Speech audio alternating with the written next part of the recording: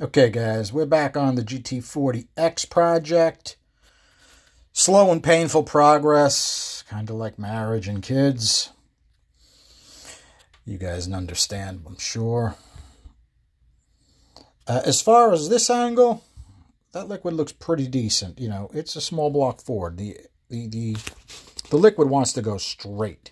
So that wall is in the way, so it's going to have to come around that wall and then into the chamber. But if you look on the right side of that guide is a little bit of blue, which is a step in the right direction. You can also see that on the valve. Okay, you can see the lion's share of it is on the right-hand side, but on the left-hand side, you can also see a nice powder. I should include that I put a small back cut on it you can see where I just lapped it to see where the seat was, and I brought it up close to the seat, and then it's going to be done. Could I shrink the seats and gain some more flow? Yeah, I could.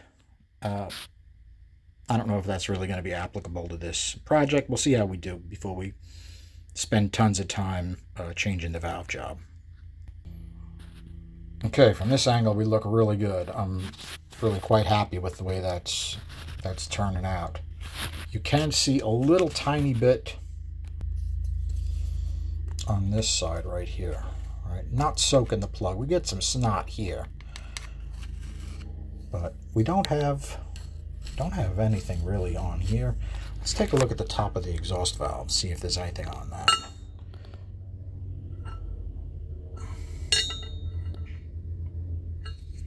Sorry, guys. Okay, I really don't see anything on the back of the exhaust valve. As far as the port shape, yeah, it was changed a little bit. I went by the air speeds. I changed the bowl a little bit. Got to be careful. These bowls are not thick. Uh, if I really have to push my luck, I'll have to change the texture and then measure and then grind and then put the rough texture back on. That's... Uh, you got to be careful with that because a, a rough burr can get you in trouble in no time. The short side radius did get some work. If you remember uh, first cut, we had a huge amount of noise coming off that short side. So I took a look at my air speeds. I modified accordingly. Did we get huge gains? Mm, just by a quick look, I would say no. But we did get some gains. Now, you will notice that it still has a burr texture on that short side. That is probably not the way these will go out. Uh, usually I like a polished short side. But for uh, figuring out development, this is what I use usually. All right, doing my best with uh, what I can show you on this. I mean, the blue looks pretty good. You can really see the angle that the air travels on that floor. Uh, by the way, that corner of the short side, when I put a flow ball there, my airflow drops the most. So that should tell you something right there. The floor is uh, relatively flat on this. Um, could I gain some more by putting an angle on it? I could, but it's it's not super thick, so I have to be careful. I did widen it a touch, and it's got a fairly uh, mild texture to the whole short, short side.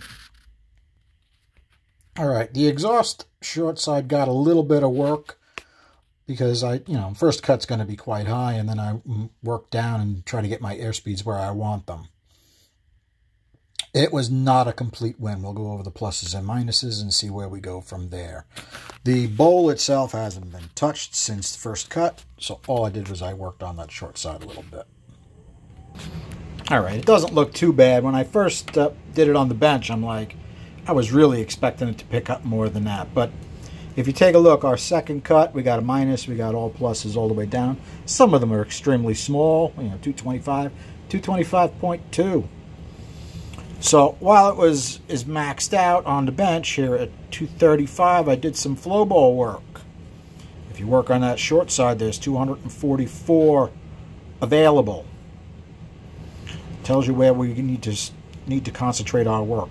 Short side is going to be ugly because it's so low. Okay, so you got to work with what you got. Unfortunately, that's the original design on these heads. Somebody somebody mentioned uh, that the reputation on these heads is not great, and I can kind of see why. I know what Ford did. Ford wanted something easy you could bolt right on, take your E7s off, bolt these on, gain, you know, 30, 40 horsepower. I have no doubt they would definitely do that. You got to remember an E7, well, let's take a look at the, the stock flows. All right, even a stock, let's say a Mustang GT, it's got a, what, 444 lift cam, right? E7 barely breaks 160. So you got 40 extra CFM. Calculate up how much bolt-on horsepower that is, right? Great bolt-on head, no doubt. It's also quite a bit bigger port. You're going from a 129 cc port to a 178 cc port, which today's day and age, that's still small because most of your small block Ford ports are bigger than that, aftermarket stuff.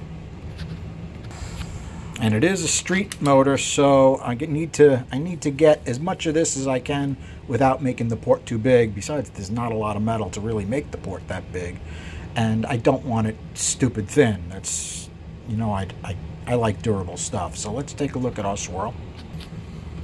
Okay, first cut swirls, second cut swirls.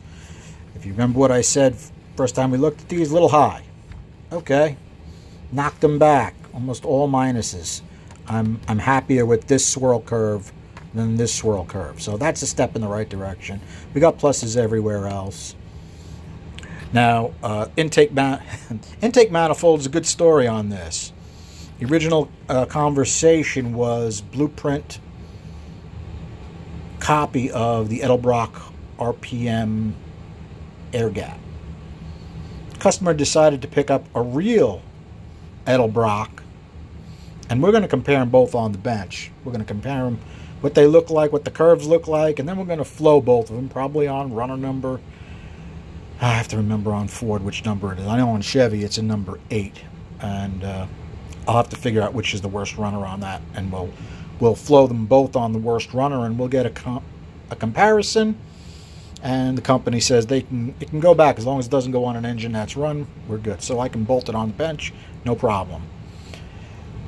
That'll be interesting to look at guys. That'll be that'll be pretty cool. That should happen uh, this week because i took this week off just to get out of work and just do some cylinder head work rest rest my head a little bit. Okay exhaust second cut first cut not a huge win if you take a look if I have some gains, they're very small. If I have some losses, some of the losses were pretty big. 86, 78. That isn't good, right? We had one, two, three, four, five points of noise here. Did some work to it. I got it down to two spots of noise. As far as I'm concerned, that's a win. If you disagree, let me know in the comments. Plus, plus, minus, minus, minus plus, plus, plus. This is an important area right here. We don't quite top out as good. Do we lose a lot? No, don't lose a lot, but I don't like to lose anything. And if we take a look through the pipe, verse through the pipe, this one is up, this one is down.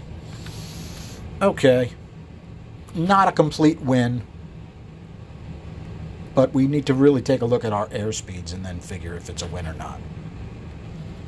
Okay, first cut, intake airspeeds versus second cut airspeeds. How'd we do? Well, we're 228 change here. We're 235 here. You would think they go up. You got a plus minus plus. Not bad from top to bottom. Pretty active floor. Now this is... I'm looking at the wrong one. Sorry, guys. Plus, plus, plus okay, up from where we were. Here we got a plus and a minus. Fairly even, I mean more even than we were by far, okay, so I'm going to take that as a win. And how did our short side do? Well, plus, plus, plus. How even? Not bad. Okay. We've got a little more speed here, and this is where our flow ball said uh, we had the most speed because when you put the flow ball there, your flow dumps down the most versus this corner. Okay, first cut, exhaust numbers on top, second cut, exhaust numbers on the bottom. Big change? No, but a definite change, right? We got a plus, plus, plus, minus, plus, plus, plus, plus, minus. Some of the pluses are really small, only one. This actually went backwards a little bit. Okay, it did better on this one. Remember, this was completely dead on the stalker. It was like 40. Side to side, not great. We could work on side to side, right? Definitely could be better. And it was at 600, so it is actually flowing less. This one was flowing more. This was 177. This is 174. So not a complete win changing the apex of the short side a little bit to what I thought would be better. So I need to work on that a little bit more. Is it is it okay for a street motor as it is? It's not bad.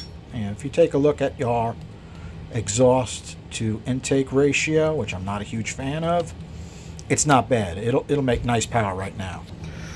Okay, so where do we go from here? Well, the intake needs some more short side radius work. The bowl I'll keep the same. The valve I'll keep the same.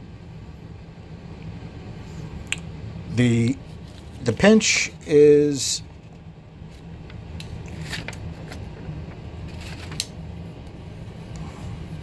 is fine. It's not not even close to holding us back.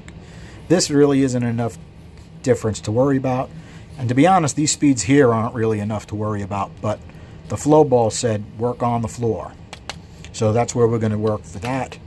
And the uh, exhaust, what I think I'll do is I'll polish the throat because it's textured burr polish right now. We'll texture the throat and see if we can uh, see if we can boost this up right in this area. All right, guys. Thanks for hanging out. Have a good night. You know what I did forget? and I forgot on the first and second, the stock and first cut. Let's take a look at the, our, our bore. Okay, I'll tell you stock, that didn't look anything like that. It was a thin, it was a thin line. First cut looked pretty good. Not quite as good as that. That's definitely the best as of right now. Okay, even if you go all the way around, it just has the lightest little speckles around. That's that's taking care of the liquid in a big way, which is going to be helpful on a carb uh, street application. So remember, guys, it's not all flow numbers. Yeah, I push flow numbers because I want to get the most amount of air through the smallest hole, really, for the most part. So we get our velocities up. And the more efficient you make the port, the higher you can push those velocities and it'll still stay stable. In any case, thanks for hanging out, guys. Have a good night.